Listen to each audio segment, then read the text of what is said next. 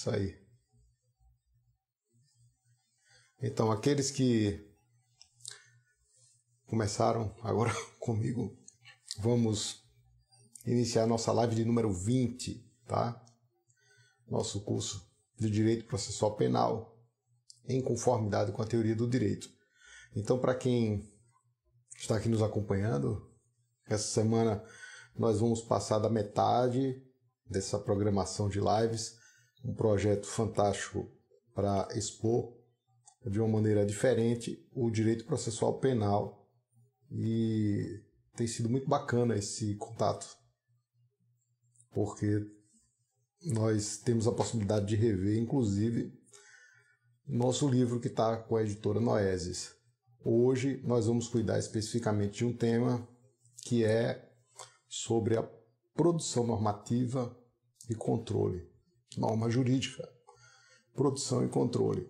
Muitas das coisas que aprendi e coloco em prática no direito processual penal é com a obra, foi com a obra do professor Gabriel Ivo.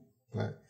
Então, o professor Gabriel Ivo tem uma obra que tem exatamente esse tema: norma jurídica, produção e controle. Aqui a gente coloca da seguinte maneira: produção normativa e controle dos atos processuais penais. Né? Então, como é que acontece, de que maneira que ocorre essa produção de normas no processo penal, em especial no processo concreto, e quais as alternativas de controle para que o que tiver sido feito possa ser objeto de impugnação, possa ser objeto de revisão e de contenção de arbítrio, tá? Então esse é o nosso tema de hoje, viu, gente? Sejam bem-vindos aqui. Aguardamos um pouco a chegada aí dos amigos e vamos dar início, né, ao nosso conteúdo. É, e quem puder pegar seu cafezinho, tá valendo, pode dar tempo ainda, né? E vamos tratar hoje de alguns pontos. Inicialmente eu queria expor algumas questões a vocês. É, vocês sabem quais são os sistemas de controle possíveis né, os sistemas possíveis no processo penal para controlar atos normativos que violem direito das partes, né, quais são os instrumentos que nós temos à disposição para controlar um ato violador de direitos. Por exemplo, se em uma audiência é indeferida à parte a possibilidade de produção de prova, oitiva de prova testemunhal ou realização de alguma perícia complementar. O que fazer? Né? Outra coisa, se a pessoa for condenada indevidamente com a sentença, por exemplo, com fundamentação inconsistente ou com absolvição indevida, quais as possibilidades que lhe são otorgadas? Ainda, em relação ao tribunal do júri, né? se você é absolvido no tribunal do júri enquanto acusado, com base no quesito genérico, é possível ao Ministério Público recorrer? E qual o contorno da sua impugnação, né? o que, é que ele deve propor.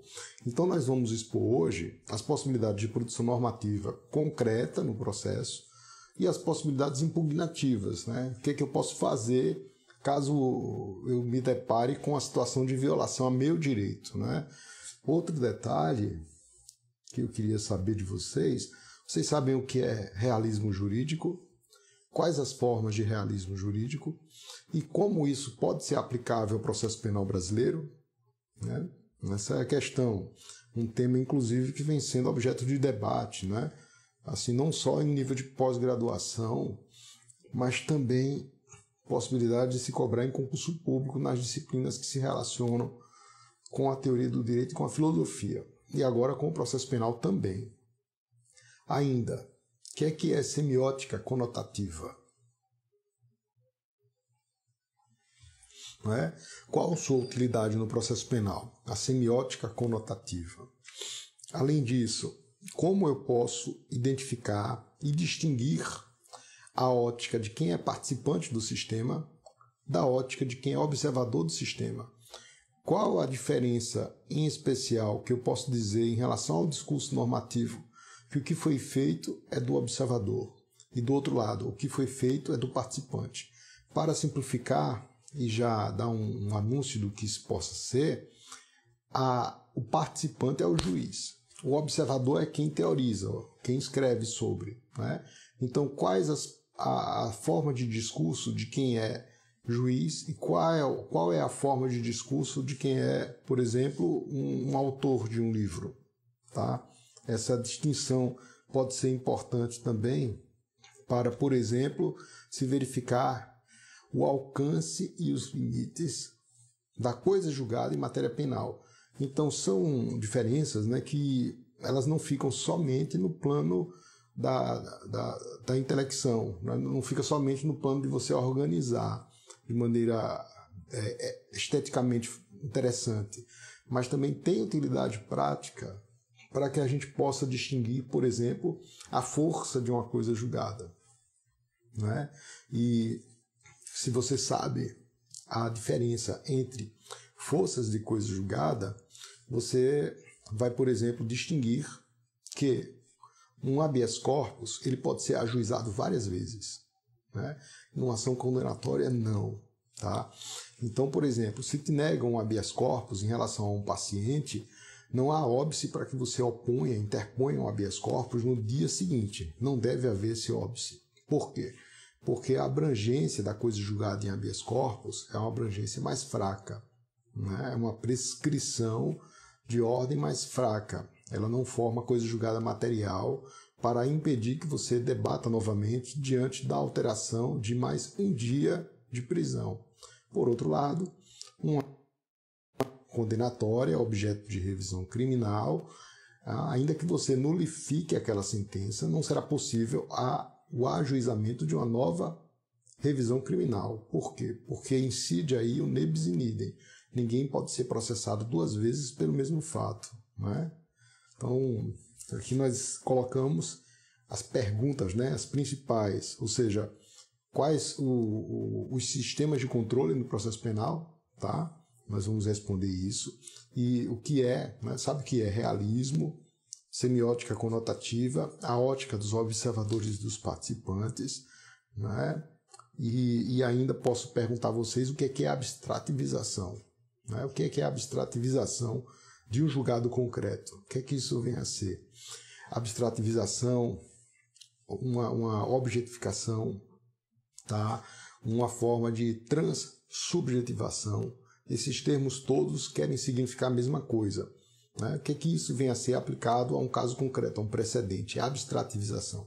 Então, nós vamos dizer, com esse capítulo, né, nós estamos, estamos hoje com a nossa live de número 20, que trata da produção normativa e do controle dos atos do processo penal. Tá? É a, a live, né, o capítulo de ordem 20, de um número de 41 capítulos que nós estamos expondo. Tem inclusive organizado, pessoal, todas as lives no nosso canal YouTube. Quem ainda não se inscreveu, vai lá, se inscreve, aperta no sininho para receber as atualizações e não esquece de deixar um like e um comentário e as perguntas. Aqui eu vou desenvolver esses assuntos de uma maneira é, mais sintética e vocês podem ir formulando as perguntas no final para que eu possa respondê-las, né? Tendo as perguntas, relaciono para que eu possa respondê-las aqui no final da nossa live. Também lá no canal YouTube pode colocar nos comentários as perguntas que eu mesmo aprecio né, e, e, respondo todas elas para que a gente possa a, melhorar a nossa, o nosso aprendizado.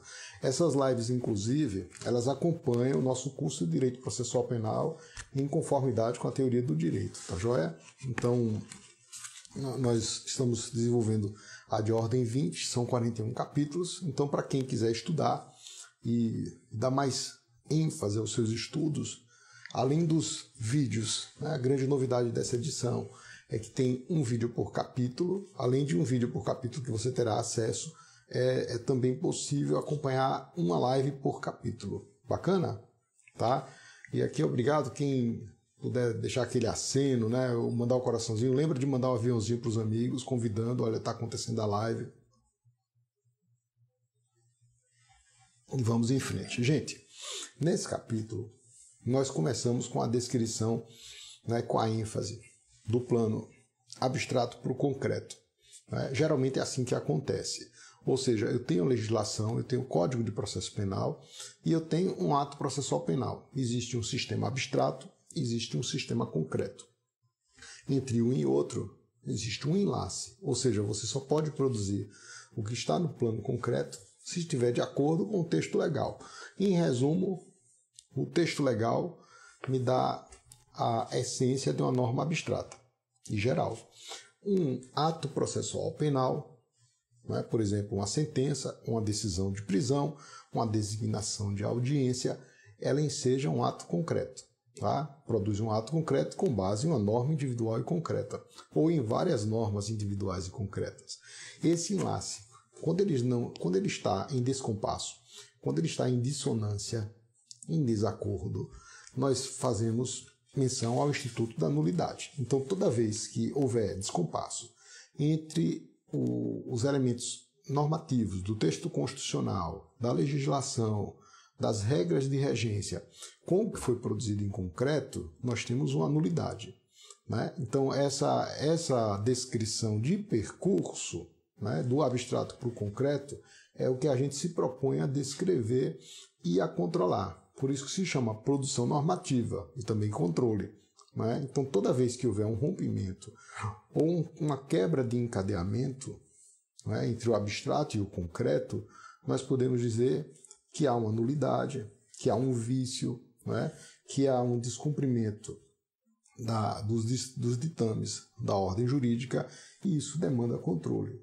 Então, aqui nós enfatizamos que há baixo controle das normas processuais penais, que há baixo controle nos processos concretos.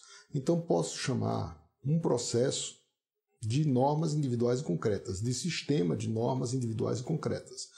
Por outro lado, o ordenamento jurídico brasileiro é um sistema de normas abstratas e gerais, tá?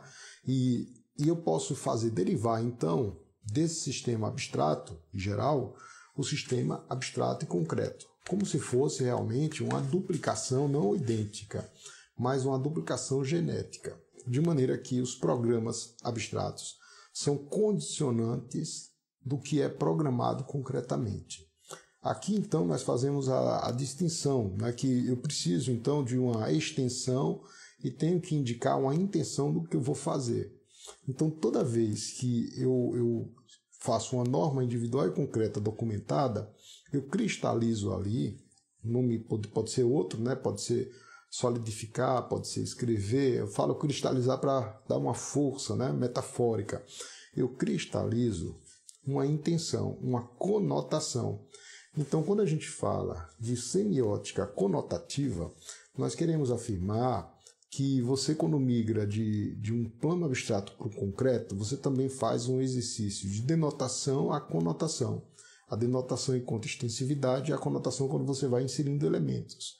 Qual a importância de se perceber isso como uma lupa para você identificar o ato? Você terá mais condições de verificar o vício e apontar exatamente aonde houve o descompasso, né? onde houve o desatendimento de um texto legal ou de uma Constituição, a, a, ou de um texto da Constituição. Essa diferença, né? essa distinção, ela acontece com base nas palavras que você escolhe. Então, às vezes, nós temos escolha de palavras que se adequam ao texto constitucional e às vezes isso foge àqueles parâmetros. Então, ao cabo, a, a ideia de você fazer uma relação de conexão, né? então a gente chama isso de juízo. Juízo, gente, juízo é nexo, né? eu tenho falado muito isso.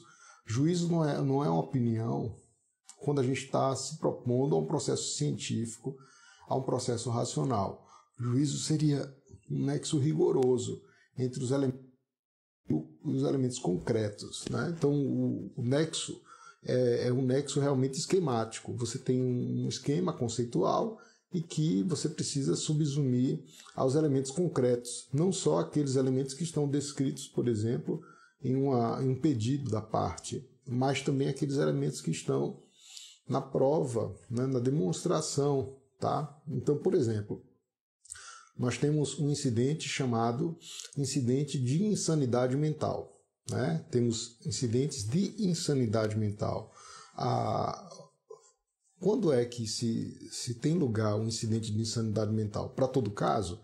Não, é necessário que haja um indicativo de que a pessoa está com algum, algum problema superveniente. E são, e são problemas relevantes decorrentes da insanidade mental. Eu tenho duas espécies. Né? Eu tenho uma insanidade mental que pode preceder a prática do ato e que, por vezes, faz com que a pessoa não entenda o caráter ilícito do fato. Então, se a pessoa sofre de um acometimento ou de um surto temporário, que não tem condições de entender o caráter ilícito do fato, o processo segue adiante, pode haver um incidente prévio, deve haver um incidente prévio para se certificar do seu problema, para que o juiz possa aquilatar aquela questão, para que, ao cabo, comprovados os requisitos necessários, seja imposta uma medida de segurança, né? a medida de segurança e uma sentença de absolvição imprópria. Esse é o incidente que se refere a uma doença mental incapacitante de entender o caráter do fato, de se determinar, que precede a prática do fato que é objeto do processo. Mas existem outros problemas que acontecem no curso do processo, né? a chamada doença mental superveniente. Então, havendo dúvida, eu preciso fazer prova disso. Eu vou fazer então a subsunção em relação aos dispositivos que rezam sobre a, a, o incidente de insanidade mental e também sobre os elementos empíricos que façam uma conformação, subsunção conceitual, ou seja, eu parto do conceito para a definição, eu formo um juízo conotativo, intencional, para que isso seja documentado. E aqui eu faço a constatação, eu realizo, documento a constatação de que a pessoa não tem condições de se defender, porque ficou acometida depois do fato. Né? E a hipótese, então, de suspensão do processo. Tá? Então, a, essa, essa questão ela é um exemplo né, para esse exercício, né, essa atividade cognitiva que nós formamos, que migra da denotação, extensão e da conotação, intenção. Aqui, pessoal, é, existe uma, uma forma de você relacionar né, os conteúdos então, um, um, aqui eu descrevo né, que a, a ideia de, de, forma, ela refere, né, forma processual não é só um formato, é muito mais do que isso, porque ela traz junto, né, ela traz o conteúdo e traz o modo. O conteúdo enquanto evento e o modo enquanto ação. Essa relação, ela, ela é como se fosse condicionante do que se vai documentar. Então, o que é que é importante nisso aí? é que você não vai fazer as coisas de qualquer jeito, né? Assim, a ideia toda de você ter técnica e dominar a teoria para justamente ter domínio sobre o que está fazendo, essa autopercepção, é para que a gente não faça as coisas de qualquer jeito. Existem dois nomes que são muito importantes na estrutura normativa. Existe a intranormatividade. O que é que é intranormatividade? Uma norma, ela pode conter, geralmente contém, duas proposições. As duas proposições fazem parte da mesma norma. Isso é intranormatividade, porque as proposições se relacionam de antecedente a consequente. A internormatividade, né, que é entre normas, é porque as normas também se enlaçam. Assim como os atos processuais, os atos probatórios também têm um encadeamento, eles se encadeiam. Não pode haver rompimento. Quando um ato probatório tem lá uma fissura, um rompimento que você não consegue computar, não consegue descrever a sua história, nós teremos uma ilicitude normativa. Para falar no professor Geraldo Prado, nós teremos uma quebra de quebra, quebra da cadeia de custódia da prova. A ideia de quebra, é, geralmente por métodos ocultos, às vezes por métodos ocultos, ela rompe então essa internormatividade. Quando eu falo da, da maneira sob a lente da norma. Né? E lá ela rompe a cadeia de custódia da prova, que é uma forma de você expressar um fenômeno que também exige uma consistência, exige um enlace, né, gente? Então, essa, essa questão a gente também expõe aqui para justamente responder aqueles primeiros é, detalhes, né? aquelas primeiras interrogações, uma grande interrogação que a gente coloca no início de cada uma das lives, né? Você sabe o que é uma semiótica conotativa, né? Aqui a gente já, já vem responder. Bom, a semiótica conotativa significa uma intenção que decorre daqueles elementos que estão no texto legal. Eu formo então a subsunção a partir de conceitos. Um conceito abstrato para um conceito concreto. O abstrato é denotativo, o concreto eu coloco mais intenção. Qual que é a, a relevância disso aí? É que o que você vai conotar tem que ter é, um, um respaldo de enlace, um respaldo de derivação. As coisas então precisam estar arrimadas em fontes do direito, né? E aqui a gente faz um lembrete em relação à primeira live que nós discorremos sobre as fontes do direito, né? A, a, jurisprudência ainda é objeto de resistência, especialmente nos mais clássicos, né? E eles não estão errados em relação a isso, né? Então eles dizem, olha, a, a jurisprudência não, não é bem fonte do direito, existe então uma, uma dificuldade para se, se reconhecer isso em um sistema afiliado à Continental Law. O fato é que hoje a Constituição da República está lá, né? Súmula vinculante, produzida pelo Supremo Tribunal Federal, é, vai servir então de ponto para solução de controvérsias. Então, negar a isso a natureza de fonte, eu gosto de falar um termo que eu aprendi lá na minha graduação, que é de focos ejetores, né? geralmente com Paulo de Barros Carvalho, o próprio Gabriel Ivo, que influenciou também a gente na feitura de vários pontos desse livro, em especial desse capítulo, quando a gente fala de produção normativa e controle. Né? Essa live trata de produção, você pode dar uma olhadinha aí no tema, né? curso processo penal, produção normativa e controle. Então tudo que eu produzo eu preciso fazer controle. Aliás, tudo na vida da gente você precisa controlar. Se você não tiver o controle, você não vai conseguir avançar muito, né? Então é também um, um posso exemplificar com a ideia de poder e de força, né? O, a questão da força, da força bruta, é porque ela, ela ela descumpre os fundamentos básicos. Né? Se você quiser, por exemplo, vencer pela violência bruta, a pessoal de Vitória, Renata, prazer. É, o, se você quiser vencer pela força bruta, você não terá uma, uma, uma, possibilidade de controle, porque justamente você não tem pontos de partida para que se arrime. Por outro lado, se você exerce poder jurídico, né, poder jurídico ele é baseado então em índices devidamente autorizados. Então, eu tenho ali no poder jurídico o exercício de uma violência, mas uma violência simbólica autorizada. Quando eu digo, olha, está autorizado ao juiz efetuar uma prisão, eu substituo toda a violência física do mundo da realidade por palavras. É uma violência simbólica, mas é uma violência acordada e justificada conforme ditames jurídicos. Então, isso aqui é poder jurídico. Então, eu também tenho aqui uma derivação, uma relação de conotação. Né? E aí, pessoal, eu já vou para aquela outra questão, né? vocês lembram aí, observadores e participantes, tá? Então, qual a distinção entre um observador e um participante? Ah, eu parto do, do, do Tássio Lacerda da Gama de outros autores, mas o Tássio trabalha isso muito bem. Ele diz o seguinte, olha, entre observador e participante, a distinção está na forma do discurso. O observador ele tem um discurso descritivo, é como se você falasse sobre o objeto. E o participante é o próprio objeto. Né? O juiz autêntico é o participante. Então, o participante formula um discurso descritivo, né? o, observador descritivo, o participante prescritivo. Ou seja, ele exara prescrições. Né? A, a, a prescrição, então, é a própria modificação da realidade através de enunciações, de, de disposições que você, por exemplo, coloca em uma sentença. Então, quando eu digo, olha, condeno fulano de tal, e especialmente quando isso passa em julgado, você transforma a, a realidade de alguém acusado em apenado ou sentenciado com trânsito em julgado. E isso desencadeia toda uma série de consequências e novas normas jurídicas, como, por exemplo, a sua colocação em uma prisão ou o cumprimento de uma pena restritiva de direito. Né? Então, a, a sentença do juiz, enquanto prescreve, ela tem essa capacidade de alterar a realidade. E em relação a, a, ao adjetivo que é agregado a essa sentença, nós podemos dizer que a prescrição ela é apta a transitar em julgado. Né? a prescrição, especialmente aquela documentada em uma sentença, ela é apta a transitar em julgado. Uma descrição de um observador, ela não é apta a isso. Né? Aqui, novamente, eu volto para o professor Tércio Sampaio Ferraz Júnior. Vocês devem lembrar que eu falo em aspecto relato e aspecto cometimento. O aspecto relato é uma comunicação. Tá? O aspecto cometimento é a descrição dessa comunicação em forma de prescrição.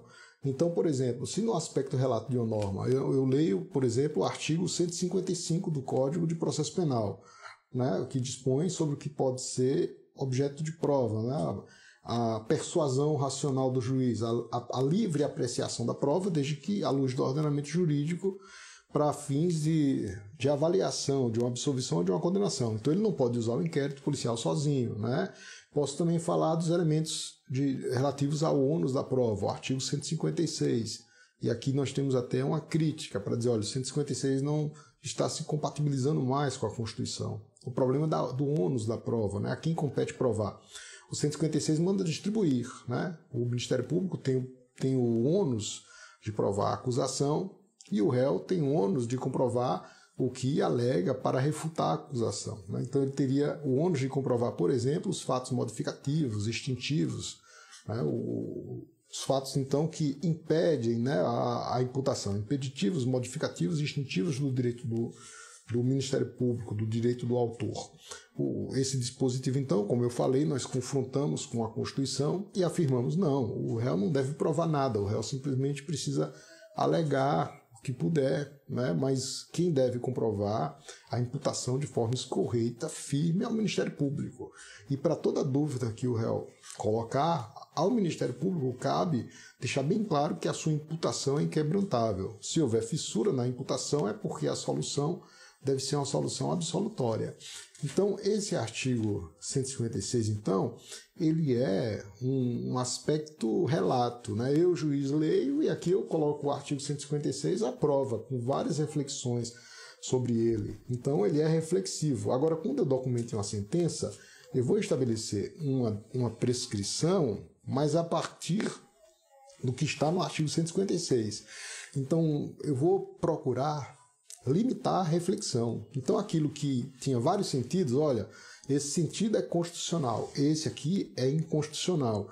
Eu, juiz, quando eu for impor no meu aspecto cometimento, aquilo que eu refleti no aspecto relato, eu fecho, né? vou falar sobre ele. E vou falar sobre ele derivando dele, mas vou dizer, olha, o sentido deve ser um só. E vou tentar comunicar ao destinatário, aqueles que vão receber a norma, de maneira certeira, o sentido que eu atribuí, por exemplo, ao artigo 156. É, é, essas relações a gente também deixa aqui bem, bem fechadinho para que nós possamos responder. E, e, dessa maneira nós respondemos uma da, a segunda questão né, em relação a, ao, aos, as, as, aos aspectos do participante, do observador, né? E, e aqui nós podemos até complementar em relação à chamada abstrativização, né? A abstrativização, que é a abstrativização do direito, né? Do direito brasileiro. O que é que vem a ser então transsubjetivação? Gente, é o seguinte: nós temos uma peculiaridade, nós somos do, do, do Continental Law, mas acaba que nós temos uma influência muito resumida. Né? Eu digo resumida porque nós pegamos alguns atalhos para chegar a ela, de colocar no direito brasileiro também os precedentes. E o que é que vem a ser isso? Um precedente, por exemplo, decidido em um recurso extraordinário e um recurso especial, esse precedente é um precedente individual e concreto. E às vezes, esse precedente toma uma dimensão abstrata e geral.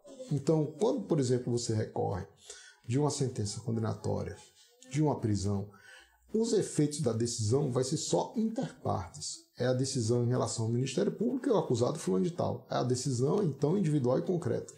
No entanto, com o objetivo, com o objetivo de, de ampliar os efeitos né, e às vezes até servir de parâmetro para solver a grande quantidade de processos que existe no tribunal, a, o, o, tribunal dá uma, um, um, sentido aberto, né, um sentido abstrato para resolver casos futuros. Então, a partir de uma decisão concreta que resolveu, por exemplo, o problema da prisão preventiva de fulano de tal, nós estabelecemos um parâmetro para resolver casos futuros. E isso vem, vem sendo realmente praticado e vem sendo objeto de aplicação, não só pelo que editou o precedente, mas pelos juízes a título de uma persuasão natural.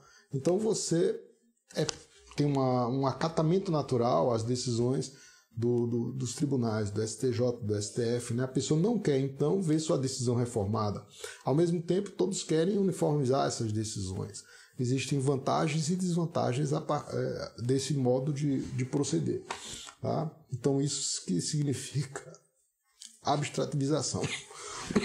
Aí, relacionado com isso, né, de abstrativização, tem o um problema do realismo jurídico. Aí eu coloquei no, no início. Sabe o que é realismo jurídico no direito brasileiro? O que é que vem a ser realismo jurídico, né? Olha, nós temos é, várias espécies de realismo.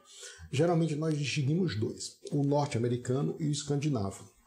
O norte-americano que dá prevalência a um método sociológico de construção dire do direito pelos tribunais. O método escandinavo tem como parâmetro algum ponto já fixado, por exemplo, uma legislação, mas diz que a legislação não pode suplantar a realidade, então ela precisa de um acatamento pelo tribunal. Então nós fazemos essa distinção para estabelecer um, uma documentação do que vem acontecendo no âmbito dos tribunais e também uma crítica em relação à forma como vem acontecendo no âmbito dos tribunais. Por quê? Porque o nosso sistema não é um sistema filiado ao common law. O nosso sistema é um sistema diverso, né? um sistema que é baseado com a ênfase na legislação, na Constituição, e de repente vem uma súmula querendo valer mais do que a legislação. Né? A súmula vem querer valer mais do que a legislação. Então, essa, esse realismo né, jurídico ele é colocado como um confronto. Né? E, e para isso, nós citamos o, os autores é, que são os maiores expoentes do realismo, como Off Ross, como Benjamin Cardoso, Holmes. Então, essa, essa ideia ela vem sendo também confrontada com o sistema de controle, especialmente com a nulidade. Né? Assim, tem, tem autores que acham que o sistema de nulidade ele destoa né, em relação à prática dos tribunais. Outros dizem não, o sistema de nulidade ele é o retrato do que tem sido praticado nos tribunais. Na verdade, a gente tem um pouco de tudo. Primeiro, nosso tema sobre nulidade processual no Código, ali do artigo 563 ao artigo 573, é um sistema de pouca aderência à Constituição da República. Bom, nos tribunais, nós temos verificado também uma pouca aderência à proteção da tutela dos direitos. Tá? Então, qual que é a proposta? É que a aplicação pelos tribunais ela, ela cumpra uma função, uma pragmática processual penal de proteção das liberdades, porque afinal todo direito processual penal tem sede no texto da Constituição da República. Aqui o professor Afrânio Silva Jardim ele lembra é que não é valioso para o Estado se punir a todo custo. De fato, se a gente tem a, a ideia de, de punir, né, o processo penal serve para punir, para aplicar pena, o fato é que isso não pode acontecer à margem do devido processo legal. Né? Então, se a gente quer dar função ao processo penal, essa função deve ser uma função de trilho para aplicar uma pena, por exemplo, né? ou uma função de trilho para aplicar uma decisão absolutória. Aí, gente, nós podemos já responder um outro quesito que colocamos aqui no início, né? Então, essa, essa ideia de tratar sob a ótica realista, ela tem também uma, uma, uma função.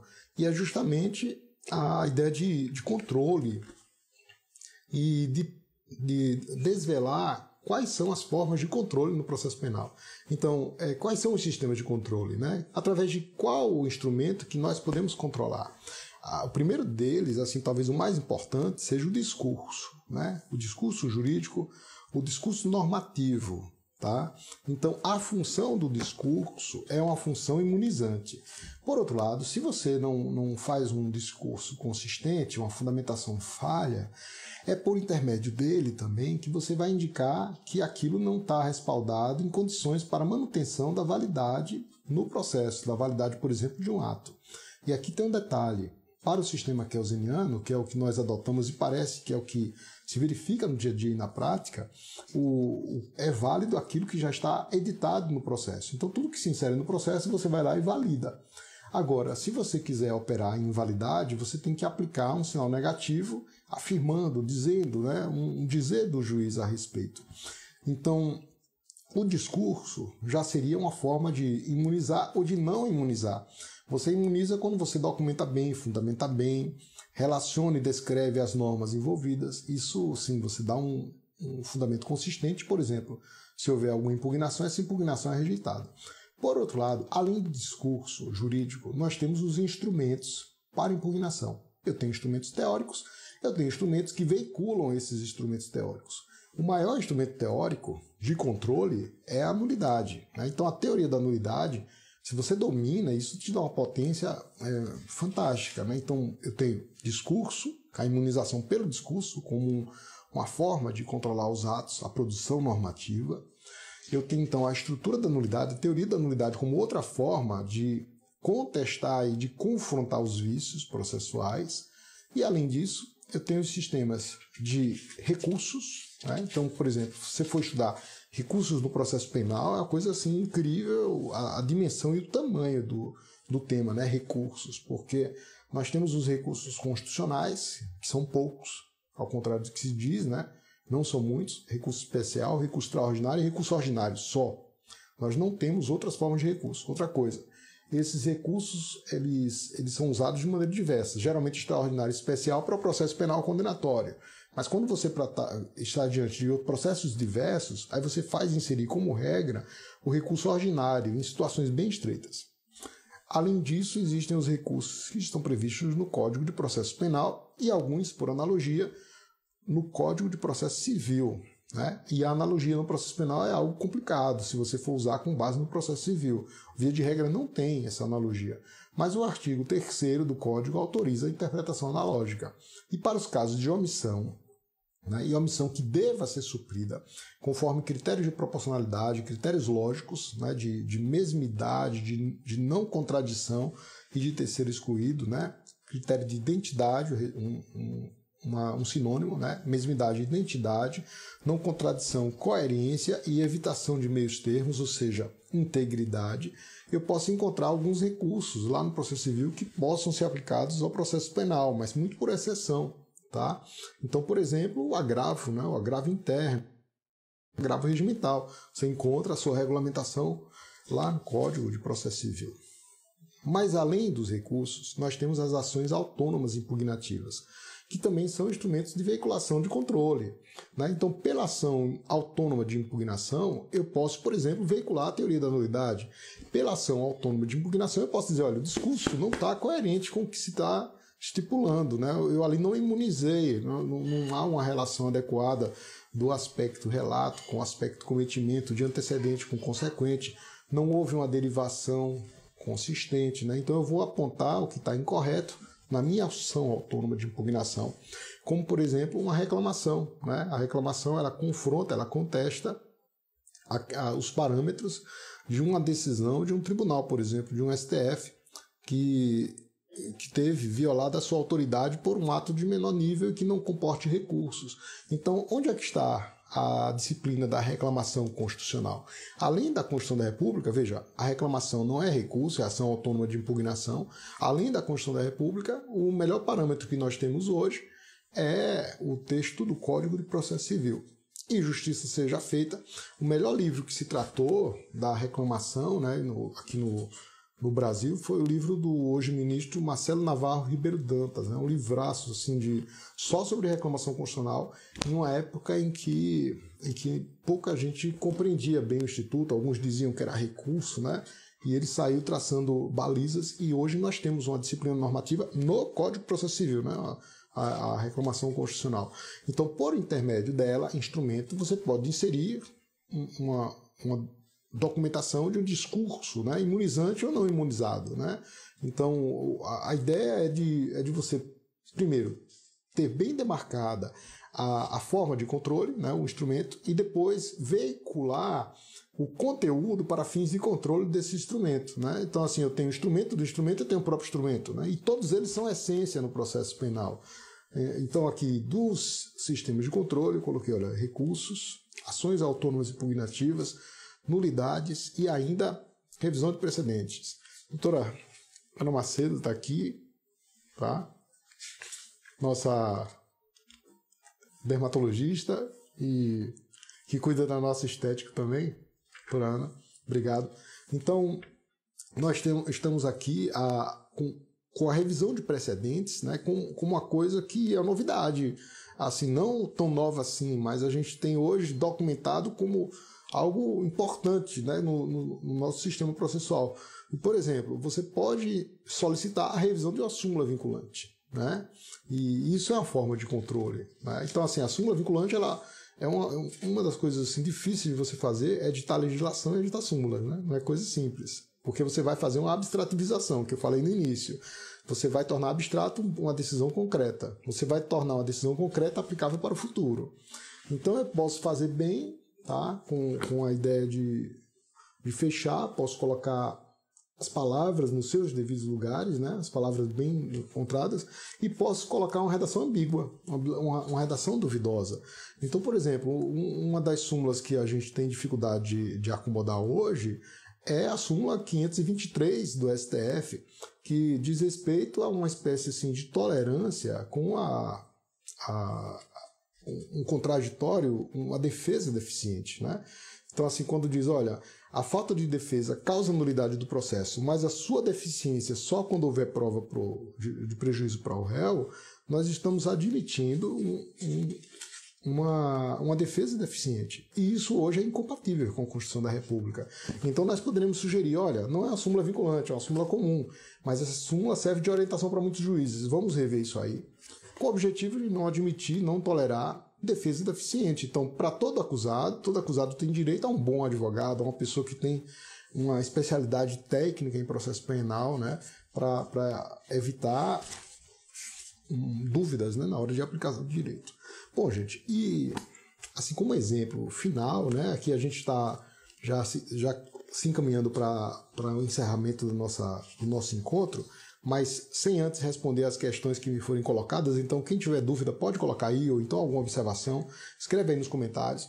Lembrando que nós deixamos sempre a nossa live salva, fica salva no GTV, fica salva lá no YouTube, vai lá, se inscreve, aperta no sininho, o canal tá todo organizado, tá bem legal para estudar, né?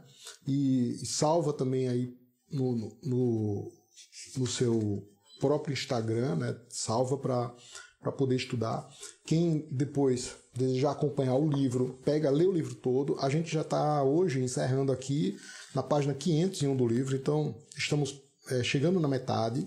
O livro tem 1056 páginas, né? um livro pela editora Noeses, e a gente está seguindo exatamente as páginas do livro para trazer um assunto que é diferente de todos os outros, mas para tornar esse assunto também acessível para todos, né? para que esse assunto se torne comum, para que seja algo assim capaz de ser dominado por dominado o assunto por todos nós, né? Aqui lembrei também de eu vi um coraçãozinho, manda aquele coraçãozinho para a gente, aperta no aviãozinho, manda para os amigos, né? Que a, a live está bem bacana. Amanhã nós vamos cuidar da pragmática desse controle. Então a gente vai se aproximando já das, dos conteúdos imediatos do processo penal. Vamos falar da pragmática do controle dos atos processuais penais que também é um, é um elemento assim fundamental para que você saiba o que está fazendo. Uma coisa é você decorar, a outra coisa é você saber o que está decorado, né? E isso te dá uma, uma potência maior. Então, gente, eu queria encerrar com um exemplo que foi muito bem explicado pela Eliette Costa Silva Jardim, é, uma defensora pública, né? ela já é falecida, mas ela, antes disso, deixou um, um artigo muito importante que foi sobre o Tribunal do Júri e os recursos. Aqui na nossa pragmática, se você pegar o artigo 5 diz assim, olha, são assegurados ao acusado o contraditório e a ampla defesa, com os meios e recursos a ela inerentes. Vejam que o texto da Constituição fala ela, os recursos são inerentes à defesa. Isso significa dizer que o Ministério Público já é um gigante, né? ele já tem nas mãos o, uma persecução penal, ele é o órgão de controle da atividade policial, ele é o autor da ação penal, existe um órgão enorme, então, para conduzir uma ação penal, e para a defesa, o que se pode colocar nas mãos dela é a resistência por intermédio dos recursos, por intermédio da estrutura das unidades, das ações autônomas de impugnação.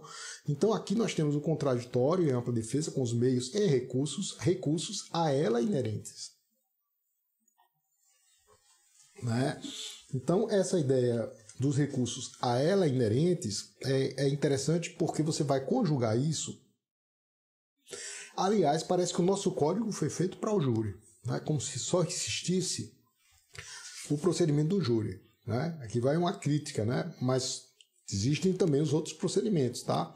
Mas o código realmente, quando tratou, por exemplo, das nulidades, deu uma ênfase no júri fenomenal. E o fato é que realmente o crime doloso contra a vida é um crime que precisa de atenção e de importância. Mas antes de tudo, é confrontar os recursos inerentes à ampla defesa com a plenitude de defesa do júri e com as possibilidades recursais que estão no artigo 593 o, do, do Código de Processo Penal. Inciso 3, a linha D, que é o recurso contra a decisão dos jurados que tenha se dado de forma manifestamente contrária à prova dos autos.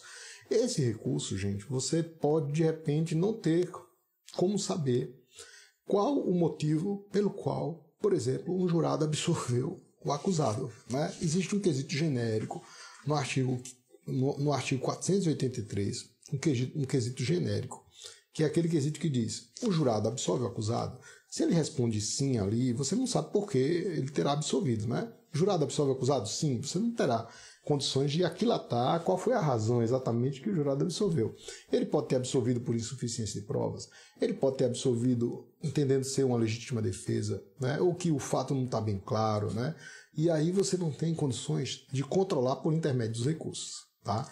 Então, por exemplo, pode ser uma questão de clemência. Né? Então, a, a, a Eliette Costa Silva Jardim, ela fala, né, clemência, né? Ou você pode ainda ter assim, olha, poxa, esse réu já sofreu demais.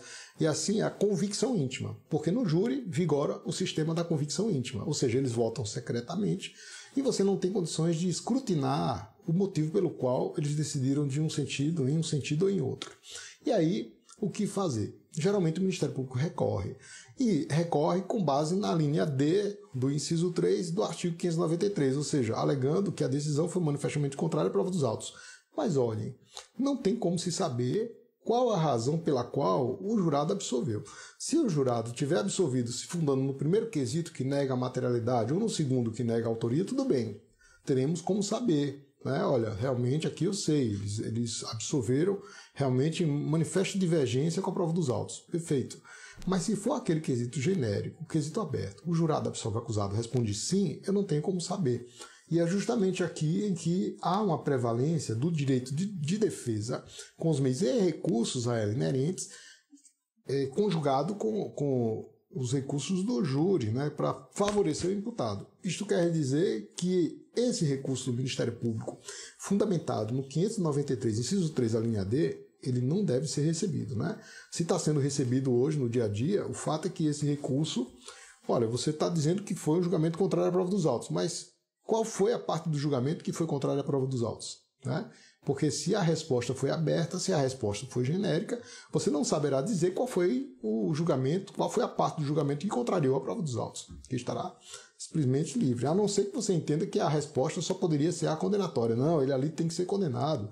Ah, e aí a gente desvirtua totalmente o procedimento do júri. Então vejam que a pragmática é como se ela desse uma ênfase à fundamentação. Só que a nossa pragmática, a fundamentadora, ela deve estar direcionada à proteção da liberdade. Então o júri, por exemplo, o júri é garantia fundamental. Né? O júri é uma proteção do indivíduo, né? Então, está no artigo 5 então significa que o, o artigo 5 é direito de primeira dimensão, né? Primeira, direito de primeira dimensão. E sendo direito de, direito de primeira dimensão, é uma forma de você escudar a liberdade, né? você escuda a liberdade nos ditames uh, legais, nos, no rito legal, no trilho legal. Né? Então, para que você possa colocar as mãos em alguém, você tem que seguir aquele, aquele parâmetro. Então, o júri é como se fosse um mecanismo de maximização das possibilidades, das chances de liberdade, das chances de absolvição. E aí eu nunca poderia usá-lo para desfavorecer o imputado. Né? Então, é, pensamos que os recursos aí disponíveis, eles devem ser recursos que favoreçam muito mais o imputado do que o Ministério Público, tá? Viu, gente? Então, deixa eu ver aqui as perguntas. Gustavo fez uma pergunta aqui para a gente, Gustavo Fernandes. Tudo bem? Vamos lá. Uma absolvição contrária à prova dos autos autoriza o MP a recorrer. Neste momento, pode-se verificar alguma nulidade. Veja, a absolvição que tenha sido contrária à prova dos autos. A questão é essa, Gustavo. Eu tenho na quesitação, dá uma olhadinha lá depois no artigo 483, tem a ordem de quesitação, de quesitação, é, da quesitação. Primeiro, materialidade. O que é, que é materialidade? O fato aconteceu, conforme descrito no laudo? Sim, perfeito. Se ele disser não, aí eu tenho realmente um julgamento contrário à prova dos autos, porque Se o fato aconteceu, o jurado diz não, peraí, né, gente? Está aqui o laudo dizendo que o fato aconteceu, então aí eu tenho realmente uma decisão do jurado manifestamente contrária para dos autos. Me parece que há um, um, uma possibilidade recursal do Ministério Público aí no ponto. A, na segunda questão também, porque é autoria. Então, materialidade e autoria. Foi fulano de tal que agindo daquela maneira provocou a morte de alguém.